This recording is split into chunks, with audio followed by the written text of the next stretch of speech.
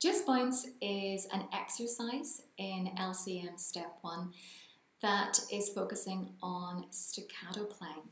So, first couple of phrases go like this.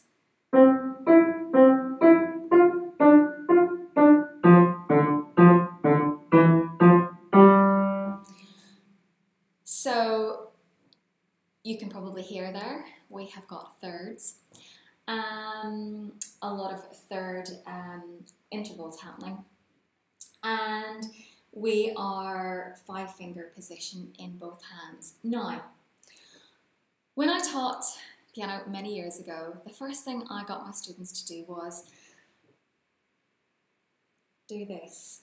So I would have got them to have their fingers ready over the notes, so they kind of peel their fingers over the keys, and then this is what they were like.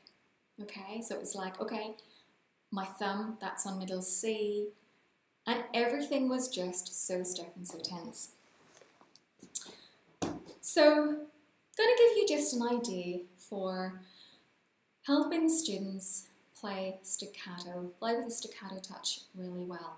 Now, when they bounce off these keys, they're hard. The surface of these keys is hard and they don't get a sense of springiness, which is why I've got this cushion. And you can see that there's this lovely sense of, of movement.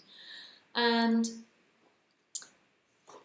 what I get students to do is where even initially they're just getting this sort of movement going so that they can, uh, one way of it is kind of imagining that it's some little animal and it's on a trampoline and it's bouncing, then getting them to do it with their fingers. So we don't get this sort of action. Everything's stiff, but where everything, there is this lovely, flexible and relaxed, relaxed wrist and arm movement. And you can hear the difference. So getting them to do it like that, feeling the push off, and then getting them to, let's say, going to make up this pattern. They're going to play the C four times, and then they're going to play E four times, and then let's go back and forwards. Now you'll see that my hand is moving a little bit. I'm not stuck to the, the surface of the keys.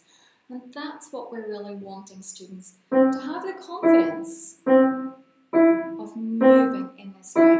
Then we could get them to do the same exercise as a sequence. So let's say it's on D and F. So D four times.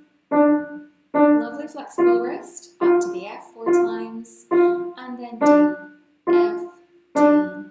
And all the time you can see the, the action of the wrist. But this can be useful and it's another prop and props tend to get our students excited.